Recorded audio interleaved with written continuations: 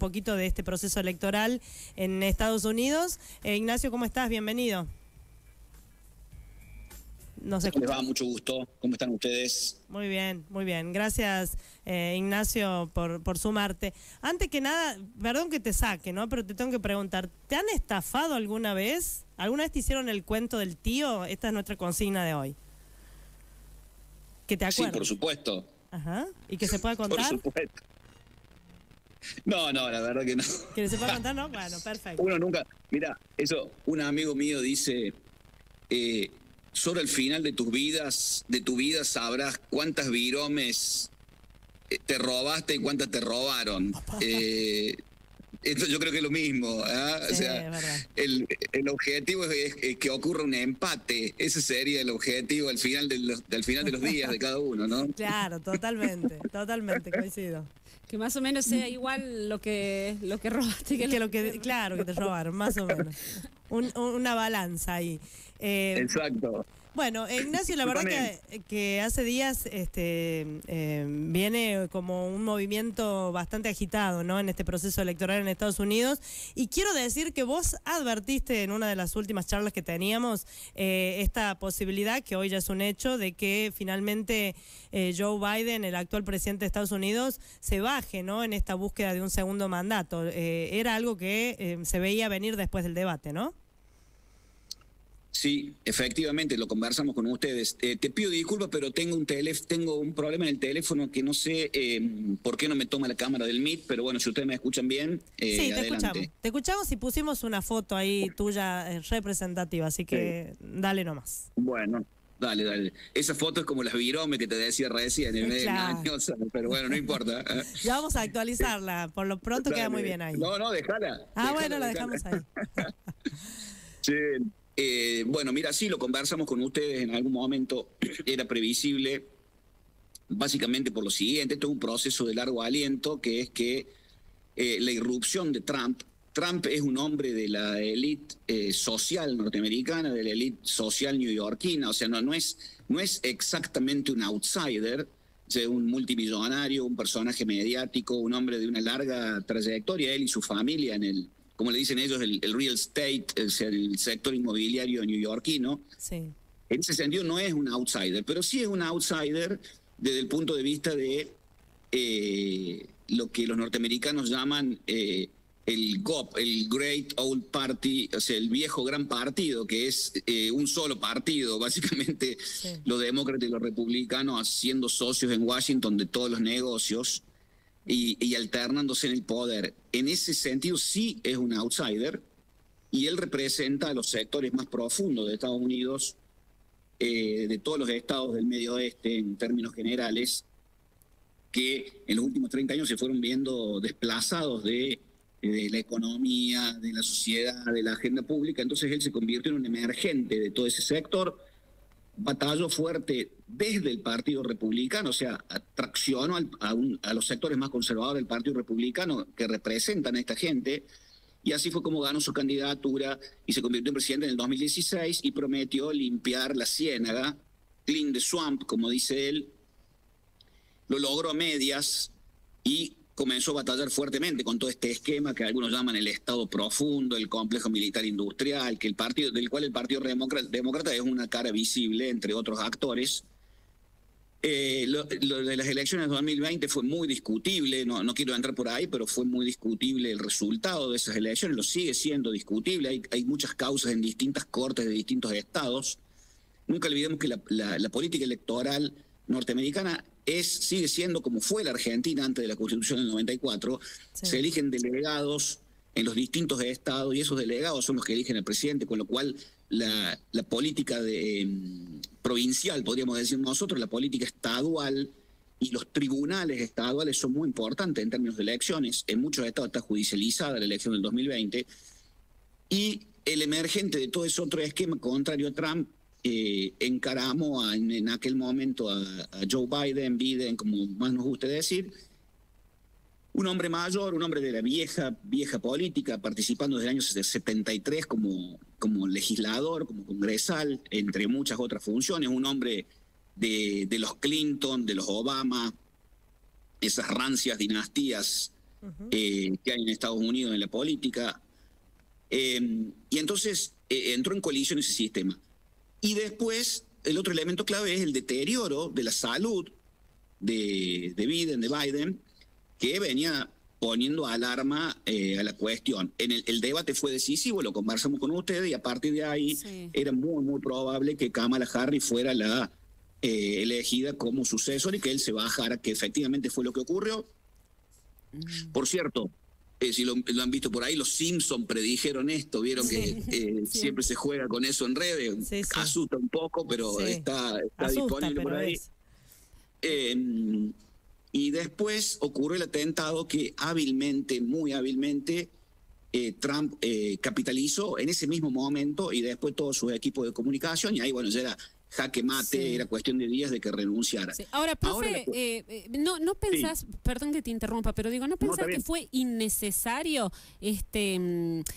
Esta extensión de, la candidatura de, Joe Biden, teniendo en cuenta que ya había tenido, por lo menos en su cuestión de, de salud, episodios anteriores que este, bueno, encendían la, la, luz de alerta. Digo, me parece que se expuso y que expuso también a los demócratas em, a, una situación de, tensión y de deterioro de cara a una elección, o muy poquito, eh, con muy poco tiempo de, la elección. Eh, fue, fue innecesario, me parece. Creo, mm, lo charlábamos con Anto y decíamos, a ver, que se haya bajado Joe Biden, y todos dijimos, y sí, o sea. Claro, claro, claro, claro.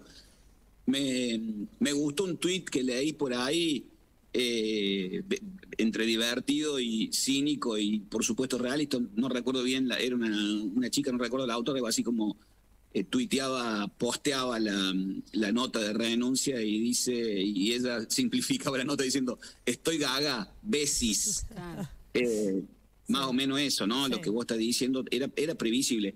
Mira, yo creo que es muy buena tu pregunta, es muy, muy fina. ¿En, qué sentido? Eh, que es muy difícil que sea respondida. Son ese tipo de preguntas que los voceros de los presidentes no te contestarían y se armaría un escándalo. No está muy claro la respuesta. Yo puedo conjeturar lo siguiente.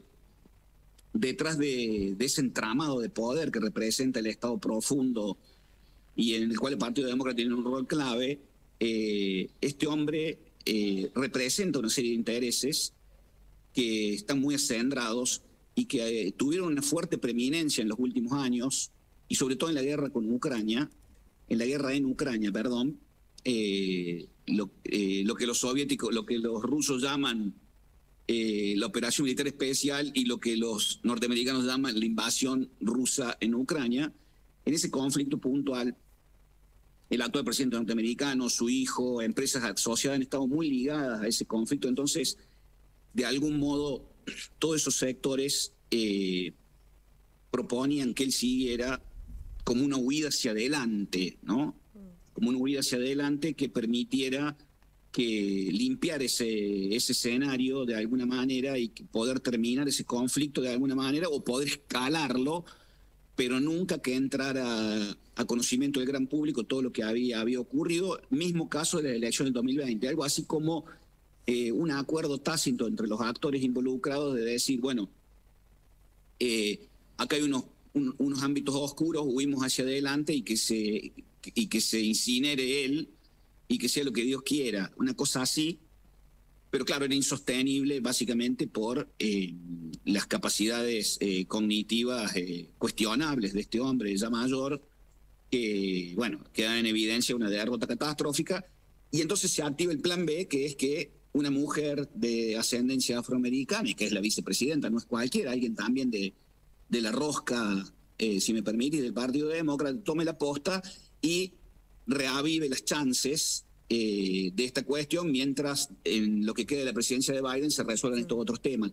Ese es más o menos la, el esquema de cálculos que puede estar habiendo eh, detrás de todo esto, pero insisto, es conjetural y es eh, una, una respuesta a una pregunta incómoda y muy certera que, que es la tuya, ¿no?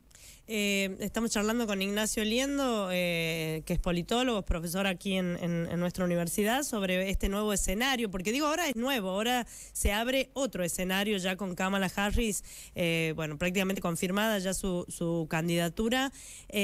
digo, ¿cuáles son los pros y los contras que tiene esta nueva figura que va a enfrentar ahora Donald Trump, según tu mirada, Ignacio? Bueno, mira, un poco te lo decía, ¿no? O sea, primero eh, eh, apretas el botón de resetear, eso siempre en este tipo de procesos puede ser positivo, en este caso lo es. Es como cuando cambia de técnico de un equipo de fútbol, son los mismos jugadores, pero juegan distintos. O sea, se, produce un refresh, un reseteo, eso en sí mismo ya es positivo y todas las críticas se las eh, sigo siguiendo con lo futbolístico, ¿no? El, el, Biden, que sigue siendo presidente, arrastra la marca, se lleva una serie de críticas. La irrupción de esta mujer y la confirmación de su candidatura le da frescura a la campaña y sobre todo a la campaña demócrata. Después es un activo que es mujer, es un activo que es descendiente de afroamericano, aunque no es decisivo, porque, como te decía antes, eh, lo que importa es la política estadual y cómo se vota en los distintos estados y cómo se reparte la población afroamericana, la población femenina, todos esos cortes como me gusta decir a algunos colegas politólogos, todos esos clivajes son muy, muy importantes en esta elección, va que están muy atentos ahí, la campaña es muy segmentada, entonces en ese sentido suma. Eh, y después también es una persona, eh, o sea, no, es, no es, una advenediza, sino que es una persona del establishment eh, que tiene una serie de apoyos y eso le da muchas garantías al Partido Demócrata de consolidar la candidatura y por ahí. Esa es la principal fortaleza. Y después la tenés que comparar con Trump, o sea, que los otros también juegan, ¿no? O sea, el que corre, más allá de las encuestas que vos estás, que se están viendo, el que corre con ventaja es Trump, básicamente, o sea, lo que más le convenía a Trump es que Biden fuera el candidato, eso está claro, ¿no? Sí, seguro, seguro.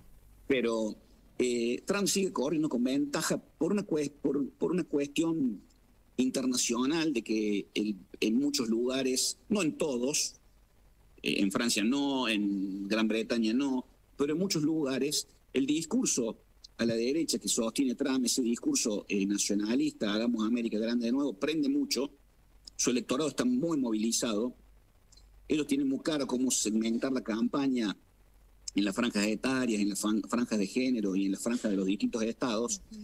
Eh, ha sido muy importante eh, el vicepresidente que ha escogido para la fórmula, es una persona joven con un discurso muy marcado a la derecha, una serie de puntos. Incluso hay una película sobre este tipo. Tiene mucha llegada en su electorado y en los jóvenes. J.D. Vance se llama este hombre.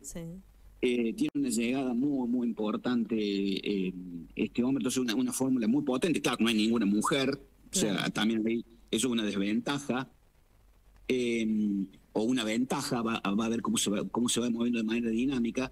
Entonces eh, se, vuelve mucho más interesante la campaña, muy linda y, y, y el final, eh, aunque, insisto, por todos estos motivos, eh, yo creo, junto con muchos analistas, lo que yo sigo, está claro, ¿no? que corre con fuerte ventaja Trump, se ha vuelto muy dinámica, se ha vuelto muy dinámica la, la, la, la, campaña, muy interesante, y el mundo no te digo que depende de ello porque sería una exageración, pero eh, el mundo está en vilo porque estamos en el año 2024 y lo que ocurre en Estados Unidos va a definir lo que queda del siglo, va a definir los liderazgos, va a definir eh, el juego de las potencias y no es lo mismo que esté el Partido Demócrata, que esté el Partido Republicano y sobre todo que esté Trump, que ahora sí te refuerzo lo que te dije al principio, es un outsider del el gran partido y es un hombre que le va a imprimir un liderazgo muy particular eh, a su nuevo gobierno si efectivamente es confirmado presidente. Y después, para lo que tiene que ver con Argentina, eh, la apuesta de Javier Milei, yo diría que casi la única, eh, es durar, tratar de durar hasta que el 20 de enero asuma Trump y que será un acuerdo todo eso está en su mente, ¿no? En la de sus estrategias y generar, tratar un acuerdo eh, para poder eh, resolver el frente externo en toda la reserva. la relación y cosas por el estilo. O sea que para nosotros también es extremadamente importante quién gana. Tenemos ahí una dificultad con el audio, Ignacio, no se te escucha muy bien, pero igual, bueno, me parece que... es... Sí. Bueno, ahí me escuchaste. Ah, ahí te escuchamos, profe, ahí te escuchamos. Em, bien. Profe, para, para ir cerrando, em, el impacto de este atentado contra Donald Trump, ¿cómo lo viste? Bueno, mira, yo creo que hay muchas, eh, son dos cuestiones en términos generales, ¿no? Primero, el, el post-atentado, ahí comenzó toda una disputa de sentido de con el nivel de involucramiento del servicio secreto, del FBI y todas las agencias de inteligencia que, que están ligadas a, a, la seguridad de los presidentes y de los expresidentes. Eh, ¿Se permitió no se permitió? ¿Hay algún paralelismo con Kennedy? ¿No lo hay? O sea, entró toda una discusión que enriqueció la campaña y que está muy fuerte ese tema en la discusión de campaña y que en alguna medida yo creo que favorece mayormente a Trump que a sus contrincantes. Eso en el post-atentado. Y en el atentado, una vez producido, el modo en que Trump reacciona eh, fortalece fuertemente su posición, sobre todo con los propios. ¿No? Le da un carácter de, en términos simbólicos y arquetípicos, de elegido, de consolida su liderazgo. Claro. O sea, eh, muy interesante desde el punto de vista comunicacional, eh, simbólico y arquetípico, y creo que ellos lo hábilmente lo capitalizaron como un hito eh, hacia la presidencia, concretamente. Ellos trabajan sobre esa idea, ¿no? Sí. Bueno, igual eh, sí, habrá que ver a partir de ahora con estos nuevos movimientos, con Kamala Harris jugando en escena, que incluso ahora ya eh, antes eh, este caballito de la edad, ¿no? De, jugar con el deterioro cognitivo, físico de, de, Biden es un argumento que queda afuera. En el caso, bueno, de Kamala mucho más joven incluso, ¿no? Que el mismo Donald Trump. Y pero él incluso con un vicepresidente muy joven, de 39 años. Digo, hay como algunos elementos para seguir viendo cómo se delinea este, este mapa en Estados Unidos, que por lo menos en el último tramo de la campaña, Ignacio, creo que vas a coincidir, eh, se reveró un poquito, ¿no? Se complicó un poquito y creo que hay un final bastante abierto. Mira, el final está totalmente abierto, totalmente abierto y es día a día, minuto a minuto y semana a semana en los distintos hitos que va a ir generando la campaña. Hay que estar muy, muy atento porque cualquier cuestión puede mover el mapa y nadie tiene, hablando en términos criollos, nadie tiene la vaca atada mm. y eh, van a luchar palmo a palmo hasta, hasta el final. Eh, hay que prestar mucha atención, como siempre, a la política en los distintos estados y en los estados bisagra, como ellos le llaman, que definen mayor cantidad de votos en, en el colegio electoral, lo que nosotros llamábamos el colegio electoral. Hay que prestar mucha atención de aquí en adelante cómo se van moviendo los distintos equipos de campaña y los distintos actos que van habiendo en distintos estados. Ahí está la, el corazón de la cuestión, ¿no? Más allá de lo comunicacional y toda esta otra cuestión prototípica de las campañas, ¿no? Lo vamos a seguir de cerca, así que seguramente en las próximas semanas eh, te volveremos a consultar para seguir haciéndole un zoom a este proceso electoral en Estados Unidos. Gracias, Ignacio Liendo. Gracias siempre a ustedes, un gran abrazo. Muchas gracias por llamar. Gracias, profe.